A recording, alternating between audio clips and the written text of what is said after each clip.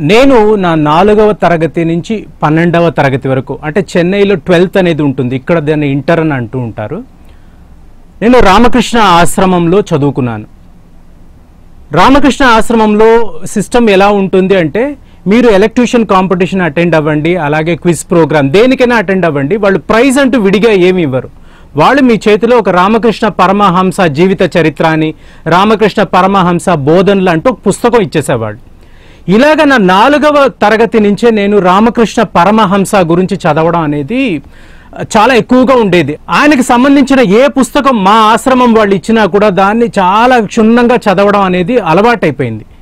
ఇది ఎంతలా అలవాటైపోయిందంటే నేను ఎయిత్ నైన్త్కి వచ్చేటప్పటికి మా ఇంట్లో చాలా భయపడిపోయారు. అంటే మేము కూడా ఎక్కడ స్వామి వివేకానంద లాగా ఇన్ఫ్లుయెన్స్ అయిపోయి అటు వెళ్ళిపోతామో సన్యాసంలోకి వెళ్ళిపోతామేమో అని భయపడి ఒకరోజు మా నాన్నగారు ఏం చేశారంటే మా ఇంట్లో ఉన్న రామకృష్ణ పరమహంసకు సంబంధించిన పుస్తకాలన్నింటినీ కూడా ఆయన తీసుకెళ్ళి ఒక లైబ్రరీకి ఇచ్చేశారు. సో నేను స్కూల్ నుంచి ఇంటికి వచ్చి చూస్తే అక్కడ ఒక్క పుస్తకం కూడా లేదు. నువ్వు అటు వెళ్ళకు అని చెప్పడం జరిగింది. కానీ రామకృష్ణ పరమహంస యొక్క ఇన్ఫ్లుయెన్స్ అనేది మాత్రం మా జీవితంలో ఇవాళ వరకు చాలా చాలా ఎక్కువ ఉంది. మేము విడిగా ఏ గుడికి వెళ్ళడం ఉండదు ఏ పూజలు చేయడం ఉండదు. మా వరకు అంటే మా వరకు అంటే రామకృష్ణ ఆశ్రమంలో చదివే ఎంతో మంది విద్యార్థులకు ఆయనే స్వయంగా దేవుడు. సో ఆయనే మేము మొక్కుతాము ఆయన చెప్పిన మాటలు అనేవి అలాగా మైండ్లో పరిగెడుతూనే ఉంటుంది.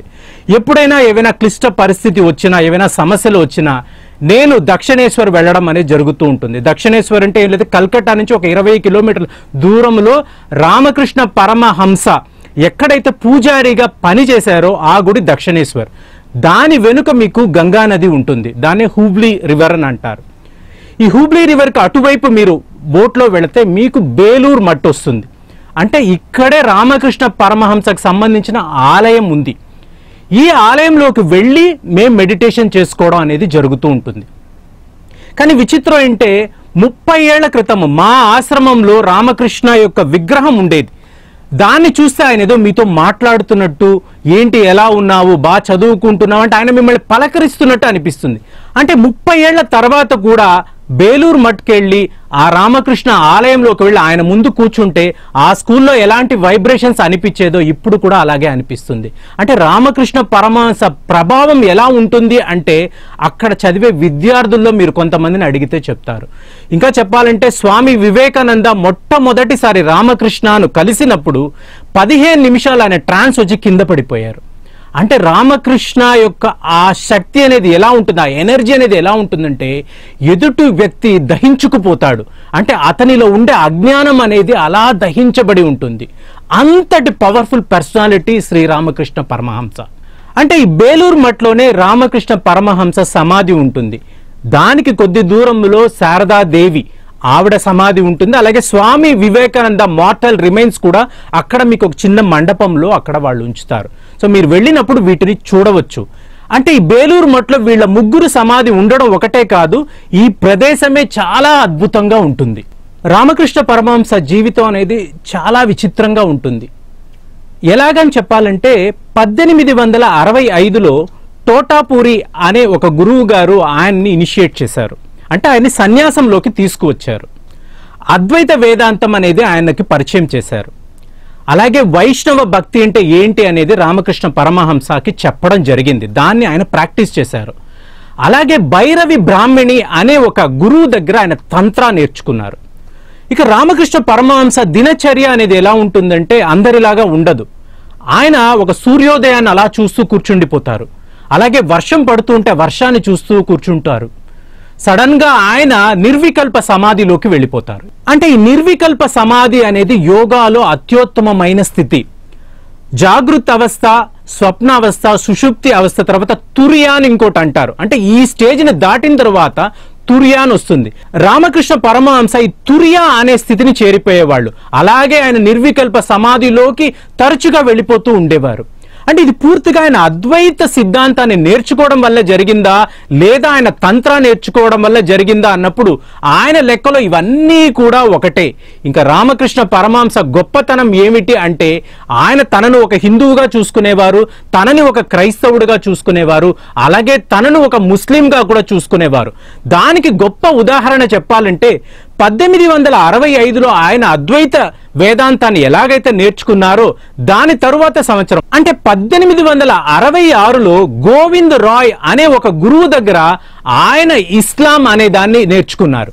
అంటే ఆయన ఒక ముస్లింగా మారిపోయి వాళ్ళలాగా దుస్తులు వేసుకుని మూడు రోజులు అల్లా నామస్మరణం చేశారు. దాంతో ఆయన దగ్గర ఉన్న వాళ్ళు చాలా మంది శిష్యులు వెళ్ళిపోయారు. ఈయనేంటి? హిందూ గురువు కదా ఇలాగే ఇస్లాంలోకి మారిపోయాడేంటి? అల్లా నామస్మరణం చేస్తున్నాడు ఏమిటని చాలా మంది వెళ్ళిపోయిన వాళ్ళు ఉన్నారు. కానీ మూడు రోజులు రామకృష్ణ పరమహంస అల్లా నామస్మరణ చేస్తూ చేస్తూ చేస్తూ ఆఖరికి అల్లా తనలోకి వచ్చినట్టు ఆయన ప్రవర్తించడం మొదలుపెట్టారు.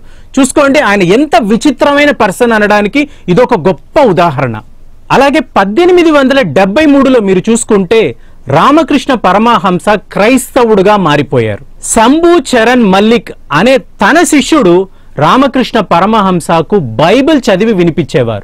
అలాగా ఆయన ఒక క్రైస్తవుడుగా మారిపోయి కాళీమాతకు పూజ చేయడం అనేది ఆపేశారు. మరి ఎందుకు మీరు ఆపేశారు అన్నప్పుడు కాళీమాత అవ్వనండి అలాగా అల్లా అవ్వనండి అలాగా క్రైస్ట్ అవ్వనండి. వీళ్ళందరూ ఒకటే కదా. కాబట్టి కాళీమాతకు చేసే పూజ నేను ఇప్పుడు యేసు ప్రభువుకు చేస్తున్నాను బైబిల్ చదువుతున్నాను. అంటే ఇప్పుడు చూడండి రామకృష్ణ పరమహంస అంటే పురాణాలు చదివేరు రామాయణము మహాభారతము అలాగే భగవత్ పురాణం ఇవన్నీ కూడా చదివేరు. వీటన్నిటికీ కూడా సమానమే బైబిల్ అని ఆయన నమ్మేరు. అలాగే ఆయన అందులోనే ఉండిపోయారు. అలాగా ఆయన కొన్ని నెలల పాటు క్రైస్తవుడుగా మిగిలిపోయారు. సో ఇలాంటి విచిత్రమైన ధోరణి రామకృష్ణ పరమహంసకు ఉండేది. ఆయన ఉద్దేశంలో ఏమిటి అని చూస్తే అన్ని మతాలు అన్ని దేవుళ్ళు అందరూ ఒకటే. దీన్ని విడగొట్టడం అనేది వీలు అవ్వదు. నీలో ఆ చిత్తశుద్ధి ఆ భక్తి ఆ దేవుడి పట్ల నీకు అపారమైన ప్రేమ భక్తి ఉన్నప్పుడు నీకు ఈ మతస్థుడు ఇలాగా ఆ మతస్థుడు అలాగా ఆ మతము వేరు ఈ మతము వేరు అని అనిపించదు. అందరూ దేవుళ్ళు ఒకటే అనే ఒక అత్యుత్తమమైన స్థాయిలో రామకృష్ణ పరమహంస మాట్లాడతారు. సో ఇవన్నీ చూసిన స్వామి వివేకానంద రామకృష్ణ అంటే అపారమైన భక్తిని పెంచుకున్నారు.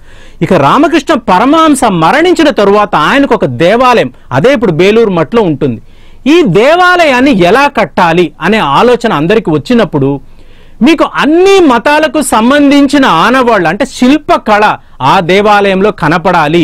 అదే రామకృష్ణ పరమహంసకు మనము చేస్తున్న గొప్ప గౌరవం అని చెప్పి స్వామి వివేకానంద ఆ గుడిని ఎలా కట్టారని చూశారనుకో బేలూరు మట్లోకి మీరు వెళ్ళారనుకోండి. ఆ ముఖద్వారము అనేది బుద్ధిజంలోని ఆ స్థూపం లాగా మీకు కనిపిస్తుంది. అలాగే రామకృష్ణ ఆలయంలోకి వెళ్ళిన తర్వాత మీకు ఆ గర్భగుడి అనేది దక్షిణ భారతదేశంలో చెందిన ఎన్నో దేవాలయాల ప్రతిమలాగా మీకు కనిపిస్తుంది.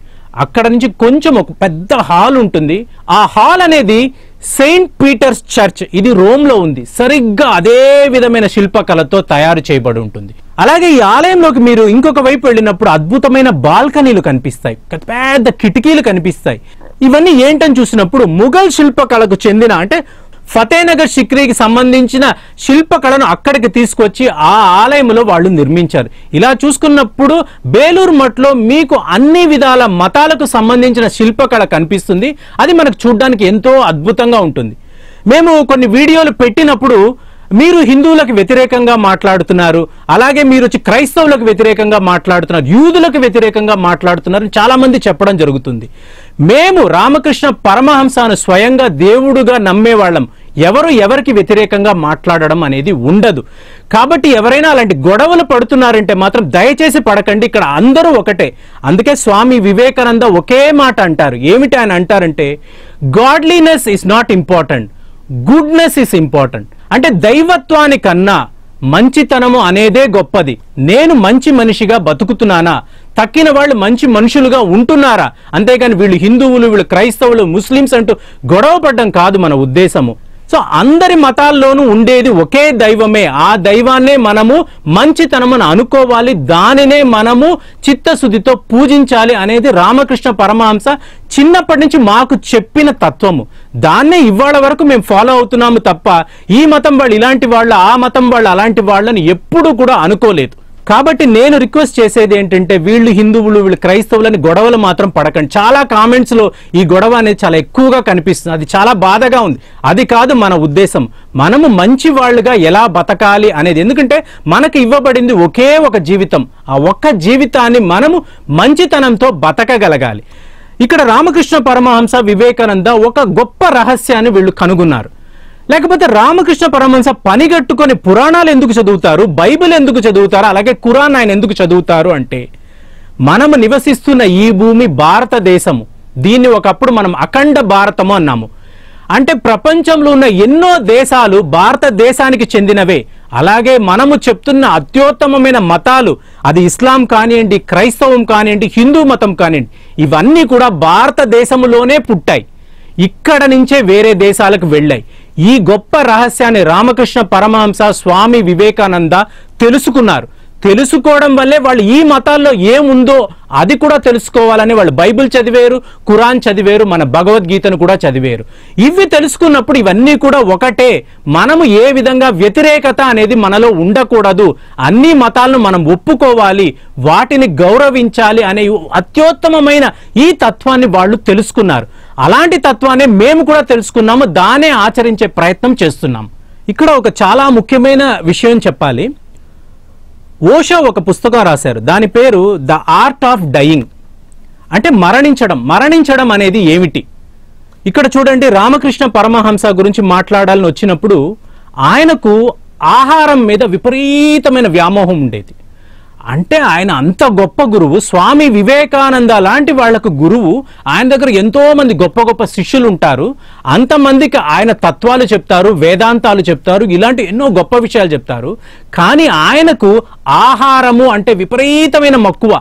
ఆయన చేపలు అన్నీ కూడా తింటారు. ఆయన స్వయంగా ఒక బ్రాహ్మణుడు అయినా కూడా బెంగాలీ బ్రాహ్మణులు అనేవాళ్ళు చేపలను చాలా ఇష్టపడి తింటారు. రామకృష్ణ పరమహంస కూడా అలాగే ఆయన అన్ని విధాల ఆహారాలు తీసుకునేవాళ్ళు. సో ఈ ఆహారం మీద ఆయన ఎందుకు ఇంత మక్కువ అన్నప్పుడు రామకృష్ణ పరమహంస గురించి అలాగే చాలా మంది తత్వవేత్తల గురించి మనం తెలుసుకోవాలి.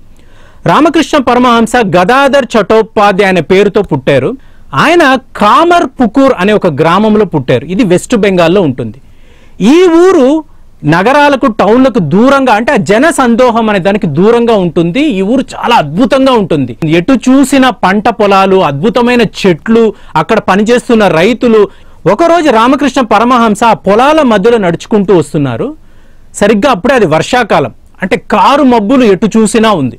అంటే పెద్ద వర్షం రాబోతుంది. ఇక అక్కడ చూస్తే రైతులు అక్కడక్కడ పొలాల్లో పనులు చేసుకుంటూ ఉన్నారు. రామకృష్ణ చాలా చిన్నవాడు. ఆయన పొలాల మధ్యలో నడుచుకుంటూ వస్తున్నప్పుడు అక్కడ ఆయన ఒక కొంగల గుంపు చూశారు. తెల్లగా అవి అద్భుతంగా పొలాల మధ్యలో తిరగాడుతూ ఉన్నాయి. అలా చూస్తూ ఉండగానే ఇంతలో పెద్ద వర్షం కురిసింది.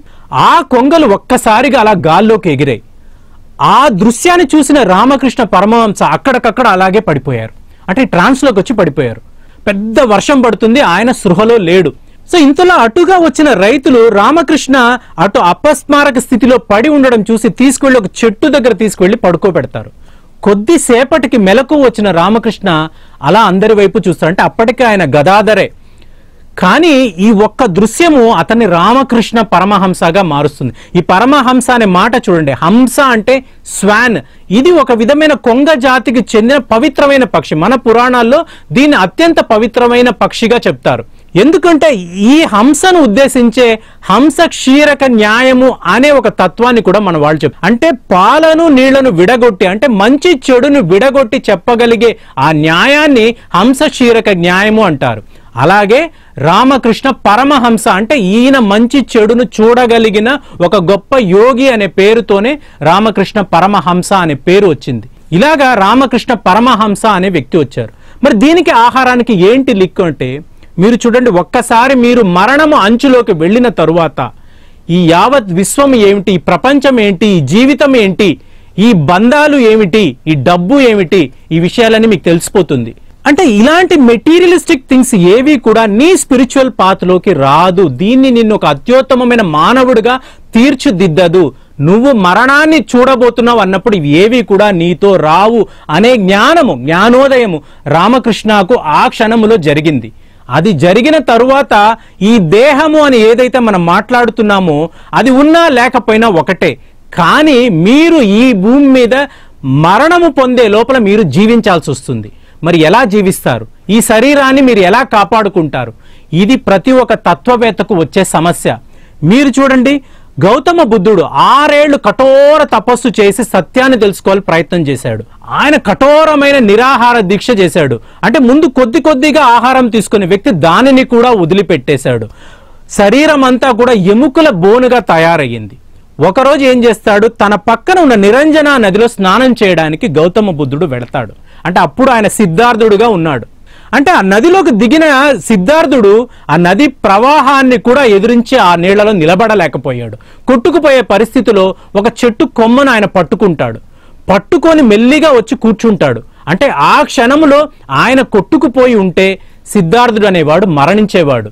అంటే మరణించిన తర్వాత మీరు సత్యాన్ని ఎలా తెలుసుకుంటారు? మీరు ప్రాణాలతో ఉన్నప్పుడే సత్యాన్ని తెలుసుకోగలగాలి. ఇది గౌతమ బుద్ధుడిలో వచ్చిన ఆలోచన. అంటే చూడండి ఎలాగైతే రామకృష్ణ పరమహంస ఆ కొంగలు ఎగరడాన్ని చూసి పడిపోయాడో అంటే మరణ స్థితిని చూశాడో గౌతమ బుద్ధుడు కూడా కొన్ని వేల సంవత్సరాల క్రితం ఇదే స్థితిని చూశాడు. ఇంకా చెప్పాలంటే రమణ మహర్షి తన పదవారవ ఏట ఇదే జరిగింది ఆయనకు. సడన్గా తాను చనిపోతే ఎలా ఉంటుంది అని ఆయన ఊహించుకున్నాడు. తన గదిలోకి వెళ్ళాడు. ఇవాళ మధ్యాహ్నం ఆయన పడుకున్నాడు. శవంలాగా పడుకున్నాడు రమణ మహర్షి. తరువాతి రోజు సాయంత్రం వరకు ఆయన అలా శవంలాగే పడిపోయాడు. జ్ఞాన యోగాలో దీన్నే క్రమముక్తి అంటారు. కానీ రమణ మహర్షి తన డెత్ ఎక్స్పీరియన్స్ గురించి చెప్తూ ఆక్రమ ముక్తి ఇది అని అంటారు. ఎందుకంటే సడన్గా తాను చనిపోతే జీవితం ఏమిటి అనే ఆలోచన. దానితో ఆయన తన శరీరం మీద బట్టలు వేసుకోవడానికి కూడా ఆయన ఇష్టపడలేదు. ఒక చిన్న గోచితోనే ఆయన కనిపించారు. అంటే ఏమవుతుందంటే ఈ ప్రపంచ ఈ సుఖ సంతోషాల నుంచి మీరు దూరంగా ఉండాలి అన్నప్పుడు ప్రతి ఒక్క యోగి కూడా మరణము అంటే ఏంటని తెలుసుకోవాలని అనుకుంటాడు. మరణం అనేదాన్ని తెలుసుకున్న తర్వాత జీవితం పట్ల అతనికి ఎటువంటి వ్యామోహం ఉండదు. మరి అలాంటప్పుడు ఈ శరీరాన్ని ఎలాగ కాపాడుకోవాలి? ఇదే గౌతమ బుద్ధుడికి కూడా వచ్చిన ఆలోచన. ఆయన ఏం చేశారు? తన చివరి నలభై ఏళ్ళు కూడా ప్రతి ఒక్కళ్ళకి ఈ విషయాన్ని చెప్తూ కాలం గడిపారు అంటే he was a good teacher అలాగే రమణ మహర్షి ఎప్పుడు కూడా మౌనముగానే ఉండేవాడు. ఆయన మౌనములో ఈ స్థితిని చూశాడు. మరి రామకృష్ణ పరమహంస దేని చూడాలి అన్నప్పుడు ఆయన ఈ శరీరాన్ని కాపాడుకోవడానికి ఆహారము అనే ఒక చిన్న టెక్నిక్ని ఫాలో అయ్యేవాడు. ఈ ఆహారము అనే దాన్ని పట్టుకొని ఆ వేలాడకపోతే రామకృష్ణ పరమహంస ఈ శరీరంలో ఉండడు. ఇది జరిగింది. సో ఇప్పుడు ఏం జరుగుతుంది అంటే ఆయన పెద్ద పెద్ద తత్వాలు మాట్లాడుతూ ఉంటాడు. మధ్యలో లేచి వెళ్ళిపోయి శారదాదేవి గారి దగ్గరికి వెళ్ళి ఇవాళ ఏ వంట చేస్తున్నావు? ఆహా బంగాళదుంప కూర చేస్తున్నావా? తొందరగా చేయి నాకు చాలా ఆకలిగా ఉంది అంటాడు. ఆవిడకేం అర్థమయ్యేది కాదు. అదేంటి ఇంత మహోన్నతమైన గురువు నా వంటగదిలోకి వచ్చి ఇవాళ బంగాళదుంప కూర చేసావా లేకపోతే చేపలు వండేవా అని అడుగుతున్నాడు ఏమిటి అని ఆవిడకి అర్థమయ్యేది కాదు. మళ్ళీ శిష్యుల దగ్గరికి వచ్చేవాడు మళ్ళీ ఆయన అసలు ఈ అద్వైత వేదాంతం ఏంటి అని మాట్లాడేవాడు. ఎప్పుడైతే ఆహారం రెడీ అయ్యిందో వెంటనే ఆయన కూర్చొని తినేసేవాడు. దీని స్వామి వివేకానంద చాలా క్లియర్గా ఆయన తన పుస్తకంలో రాస్తారు. ఎందుకు ఈయన ఇలా చేస్తున్నారనేది అప్పుడు ఎవరికీ అర్థం కాలేదు. అంటే చూడండి రామకృష్ణ పరమహంస తన దేహాన్ని ఆహారం అనే దాంతో ముడిపెట్టుకున్నాడు. కాబట్టి ఆయన ప్రాణాలతో ఉన్నాడు. ఒకరోజు శారదాదేవి గారు ఉండబట్టలేక అడుగుతారు అదేంటి మీరు ఇంత పెద్ద గురువులు కదా ఒక్కొక్కళ్ళని మిమ్మల్ని దైవంతో సమానంగా కొలుస్తున్నారు. ఈ ఆహారం పట్ట ఈ మక్కువ ఏంటి? ఎందుకు మీరు ఉత్తుత్తిన వంటగదిలోకి వస్తున్నారు? అని అన్నప్పుడు రామకృష్ణ పరమహంస ఒక జవాబు చెప్తారు చూడు నాకు ఎప్పుడైతే ఆహారం తినాలనిపిస్తుందో నువ్వు నాకు వండి పెట్టు. ఒకరోజు నువ్వు ఈ ఆహారాన్ని తీసుకొచ్చి నా ముందు పెడతావు. ఎప్పుడైతే దాన్ని నేను ముట్టుకోకూడదు అని అనుకుంటానో ఆ రోజే నా చివరి రోజు అని ఆయన అంటారు. శారదాదేవి గారికి అప్పుడు ఏమీ అర్థం కాలేదు. సరిగ్గా ఒకానొక రోజు ఆవిడ చక్కగా వండి ప్లేట్లో తీసుకువచ్చి రామకృష్ణ పరమహంస ముందు పెడుతుంది. ఆయన ఆహారాన్ని చూసి శారదాదేవి గారిని ఒక్కసారి చూసి నవ్వుతూ ఆయన అటువైపు తిరిగిపోతారు. అప్పుడు శారదాదేవికి అర్థం అవుతుంది. అప్పుడు ఆవిడ ఆయన ముందు కూర్చొని ఎంతగానో రోధిస్తుంది. రామకృష్ణ పరమహంస అలా నవ్వుతూనే ఉండిపోతారు. అది జరిగిన మూడవ రోజు ఆయన మరణిస్తారు. అంటే ఏంటి? ఒక మహాసముద్రములో ఒక నావను తాడుతో కట్టి ఉంచారు. ఎప్పుడైతే తాడు తెగిందో ఆ నావ ఈ మహాసముద్రంలోకి వెళ్ళి కలిసిపోతుంది. ఇదే ఈ అత్యుత్తమమైన మహాగురువులు అందరూ కూడా చేసిన పని. వాళ్ళకు ఏదో ఒక విషయం మీద ఆ లింక్ అనేది లేదు అంటే వాళ్ళు అప్పటికప్పుడు వాళ్ళ శరీరాన్ని విడిచిపెట్టేస్తారు. మరి ఇలాంటి ఆలోచనలు వాళ్ళకు ఉంటుంది. వీళ్ళనే మనము యోగులు అని అంటాము. ఇలాంటి వాళ్ళు ఇప్పుడు కూడా హిమాలయాల్లో ఎంతో మంది ఉన్నారు. మీకు తెలిసే ఉంటుంది మెహర్ బాబా అనే ఆయన రోజుకి ఇరవై సార్లు భోజనం చేసేవారు. ఆయన భక్తులకు అర్థం అయ్యేది కాదు. అప్పుడే తింటారు పది నిమిషాల తర్వాత చాలా ఆకలిగా ఉందే మనం భోజనం చేద్దామా అనేవారు. గురుజీ మీరు ఇప్పుడే తిన్నారంటే ఇప్పుడే తిన్నానా? పర్వాలేదు మళ్ళీ తిందాం అనేవారు అలాగా ఆయన తన శరీరాన్ని ఆహారంతో ముడిపెట్టుకొని ఉన్నారు.